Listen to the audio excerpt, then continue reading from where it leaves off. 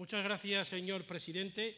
¿Cuáles han sido las razones por las que la Junta de Castilla y León ha excluido el camino histórico de la Vía de la Plata en la firma del protocolo firmado en Cáceres este verano durante el mes de julio de cara a la celebración del año Jacobeo 2021? Gracias. Para contestar tiene la palabra el consejero de Cultura y Turismo, el señor Ortega Álvarez. Gracias, señor presidente. Estimado señor Martín Benito, dicho protocolo no ha excluido la promoción del tramo histórico de la ruta de cara a la celebración del Año Santo Jacobeo 2021. Basta examinar el punto primero de sus acuerdos, colaborar en la promoción del Camino de Santiago y en especial de la Vía de la Plata, realzando los valores propios de la ruta jacobea. Muchas gracias. Gracias. Para el turno de réplica tiene la palabra el señor Martín Benito. La Vía, de la, Plata, de la Plata, el camino histórico, discurre por las tres provincias leonesas, Salamanca, Zamora y León. El protocolo firmado este verano, y hay que ver también la página web lo que se promociona, la Junta ha excluido y dejado fuera al camino histórico de La Plata, concretamente al trazado en las provincias de Zamora y de León, el trazado entre Zamora-Benavente, Benavente, La Bañeza y Astorga. Se han dejado también otros caminos que parten de la Vía de la Plata.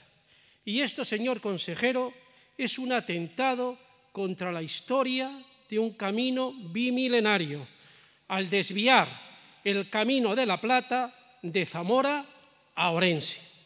Y lo han hecho de manera unilateral, sin consultar con nadie.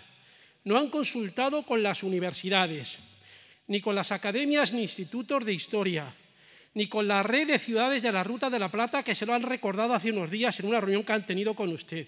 Ni tan siquiera han consultado ustedes con el órgano asesor del Consejo de los Caminos de Santiago de Castilla y León, por cierto, del cual el representante de las asociaciones ha dimitido por sentirse ninguneado con la firma de este protocolo y de otras actuaciones de la Junta.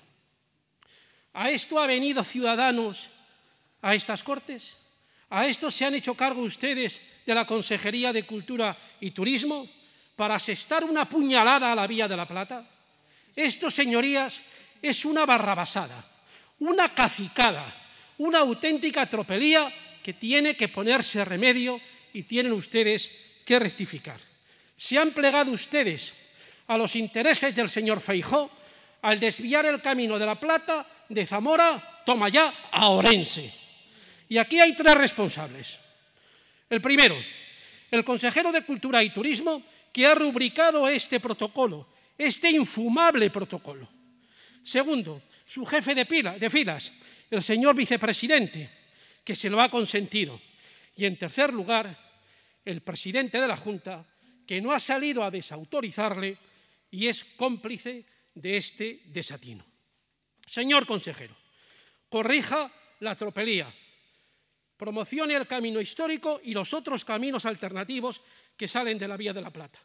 La Vía de la Plata lleva diez años perdiendo pulso de peregrinos, mientras otros caminos están aumentando. Se necesita revitalizar la ruta. Cuenten con todos, con las asociaciones de hosteleros, Cuenten con las asociaciones de peregrinos, desfagan el entuerto, rectifiquen. De lo contrario, pasarán ustedes a los anales de esta comunidad como los tres tenores de un desatino. En el pecado llevan ustedes, señor consejero, la penitencia. Muchas gracias. Gracias. Para un turno de dúplica tiene la palabra el consejero de Cultura y Turismo, el señor Ortega Álvarez. Gracias, presidente. Estimado señor Martín Benito, en ningún momento, en ningún momento hemos pretendido cambiar o modificar la historia. Para ello, no dude que contaríamos con usted, todo un académico de la historia, al que sabe que respeto profundamente por sus enormes conocimientos en la materia. Carecemos de poderes taumaturgos tal y como los describió el señor Cantorovis en su clásico que usted bien conoce, con lo cual me temo que no vamos a poder eh, ni, eh, a los peregrinos, ni a los viajeros, ni redirigirlos, ni llevarlos a ningún sitio u otro, ni a ninguna persona. Carecemos de ello, no tenemos esos, esos poderes. Pero este, señor Martín Benito, no es un debate historiográfico. Este no es un debate sobre la historia ni es un debate erudito. Este, señor Martín Benito, es un debate sobre la gestión. Es un debate sobre propuestas y sobre proyectos de comunidad. Y es un debate también, podemos decirlo, sobre proyectos de nación. Proyectos de nación que vertebran territorios y vertebran personas en beneficio de los ciudadanos. Mire, el protocolo es una herramienta promocional que de ninguna manera desvirtúa la identidad de la ruta de la Vía de la Plata, sino que la utiliza como nexo de unión entre territorios. De ahí, precisamente, señor Martín Benito, la decisión de dar relieve al tramo, al desvío por el camino Mozárabe-Sanabrés, porque, como usted sabe, es una de las vías alternativas menos conocida. Somos la Junta de Castilla y León. No tenemos solo un camino, usted lo dice, tenemos varios caminos y tenemos que dar difusión y amparo a todos los caminos y a todos los territorios. Lo que nos va a permitir, por otro lado, y sobre todo teniendo en cuenta la situación sanitaria y epidemiológica que tenemos, redistribuir los flujos de visitantes y de peregrinos. Este, señor Martín Benito, es un proyecto sin ideologías. Yo no atiendo al señor Feijó. Es un proyecto sin ideologías en el que participan cuatro comunidades con tres partidos políticos diferentes. Y eso me parece que en el momento actual en el que está viviendo España me parece que es importante ponerlo de relieve. Y es un proyecto abierto, señor Martín Benito, que utiliza la historia para unir y no para dividir, no para enfrentar, sino para unir, para trabajar todos conjuntamente. Y que está previsto además, al ser un proyecto abierto, y así lo tenemos previsto en las siguientes reuniones que vamos a mantener en los órganos técnicos de este proyecto, la promoción de la Vía de la Plata precisamente desde Granja de Moreruela hacia Benavente, hacia Astorga o incluso también introducir los caminos portugueses. Por cierto, señor Martín Benito, tal y como defiende en su propuesta de resolución número 28, sin que por ello, permítame que le diga, pensemos que usted desconoce el tramo histórico de la Vía de la Plata. No lo pensamos de ninguna manera. Termino ya.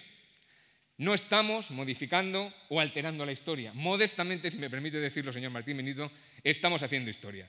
Con un apoyo sin igual a las industrias culturales y creativas, desbloqueando BICs de época preconstitucional, programando conjuntamente todos los centros de la consejería, apoyando a la tauromaquia, con una convocatoria de festivales objetiva y transparente y con proyectos de comunidad y de nación que piensan en los ciudadanos y en los efectos beneficiosos tanto para su vida como sobre todo para su hacienda. Muchísimas gracias. Gracias.